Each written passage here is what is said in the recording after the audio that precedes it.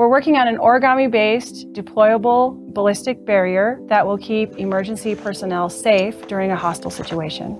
We met with federal agents that often use current shields and asked what could help them to better do their job. Current products out there are about 90 pounds. That's pretty heavy for one person to carry, and it only protects one person.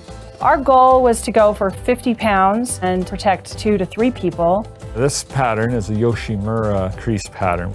And when it deploys, it provides these nice angles which we hope will be even more effective shape for a barrier. So going from paper to other materials can be really challenging. It has 12 layers of Kevlar with an aluminum core in the middle. The students did a lot of calculations and 12 layers is really what you need to be able to withstand a bullet from a handgun. One of the great things about this particular fold pattern is that it opens and closes really easily. In an emergency situation, you've got to be able to just get that thing open and get it in the way.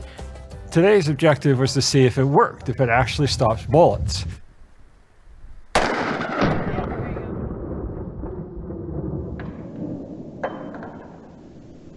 My first thought was, did he miss? so I went back to the high-speed camera that I'd been filming and the bullet sunk right in.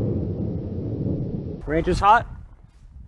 It was exciting to see that it did stop the bullets, and we were able to successfully demonstrate it with 9 millimeter, 357 Magnum, and 44 Magnum pistols. The federal agents that saw our initial prototype were really excited about it. Their response was that this is a revolutionary product. My dad is actually a police officer himself. This could be something that could be used by him or other officers that could prevent injury or even save their life.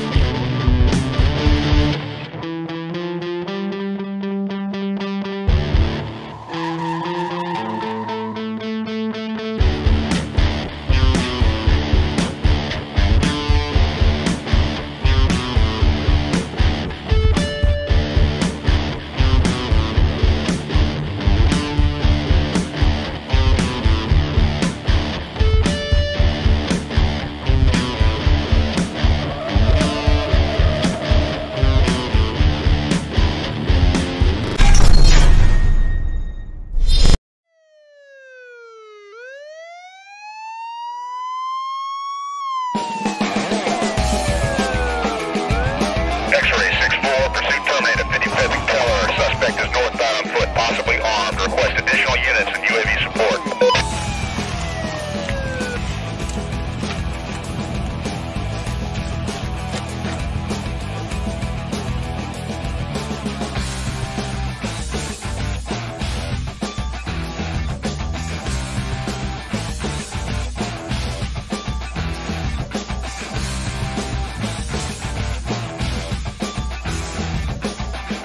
Launch the UAV.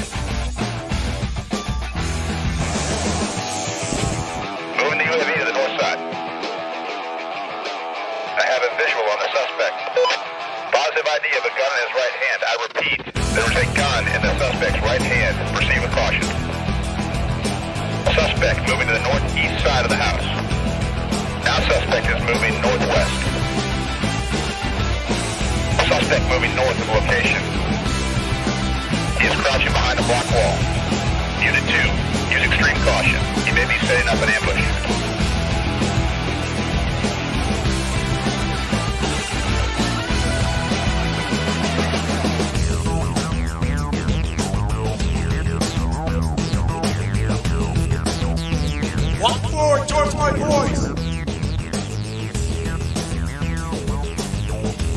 Suspect is standing. He's standing and placing the gun on the ground. I repeat, the gun is on the ground.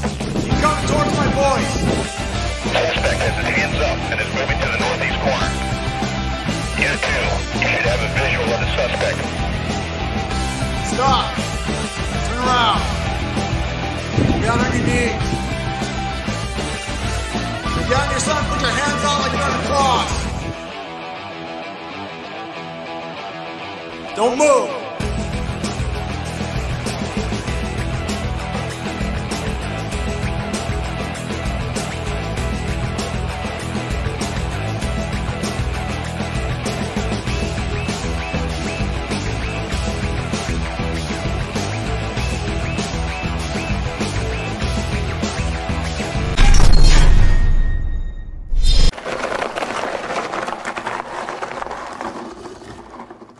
So is the Recon Scout uh, XT, tactical reconnaissance robot. Uh, the whole idea is that it can be thrown into a hostile situation, and uh, video feedback from the robot comes to the OCU so that you can, uh, uh, and uh, the police need to get in and see what's going on. You can use the robot to look around the corners, to uh, get into spaces you can't get into as a person, places you don't want to go, to, to find out what's going on, and put the robot into harm's way instead of putting a person into harm's way.